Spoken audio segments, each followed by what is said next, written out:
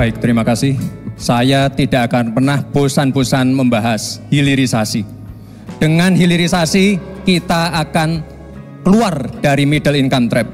Dengan hilirisasi, kita akan meningkatkan nilai tambah di dalam negeri. Dengan hilirisasi, kita akan membuka lapangan pekerjaan seluas-luasnya. Tentunya dalam pelaksanaannya dipikirkan aspek lingkungan, keberlanjutan, dan sosialnya. Dampak perubahan iklim ini semakin nyata.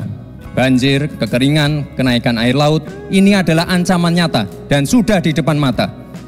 Semua masalah ini adalah tantangan zaman now. Membutuhkan solusi zaman now.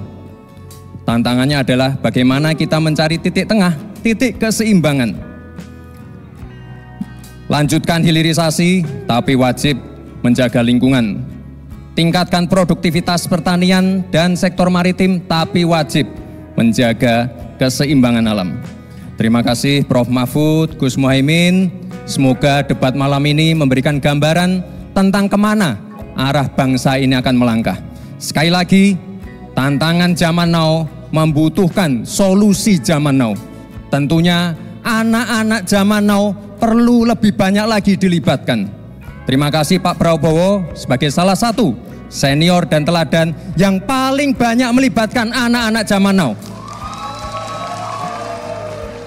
Langkah awal menuju Indonesia Emas, datang ke TPS, coblos nomor 2, Prabowo Gibran.